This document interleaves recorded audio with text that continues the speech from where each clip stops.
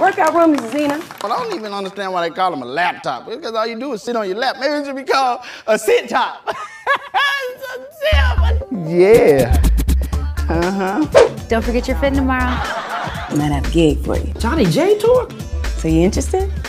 Not this area, right? But he's thinking about passing on it because it's your wedding. My dad, he may not make my wedding.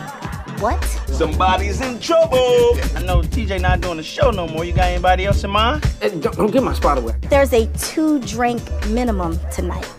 I mean, we got great comedians and specials, and they want to complain about two measly drinks. Oh, my bad. That's a lady back there? I thought that was Shaquille O'Neal or something. I was gonna tell you, okay? It's all about the customer. Get your ass out of here, Ashley. I'm a customer. Go. Put some lotion on. Damn. What about us comedians? Relax, I said I'm in, okay?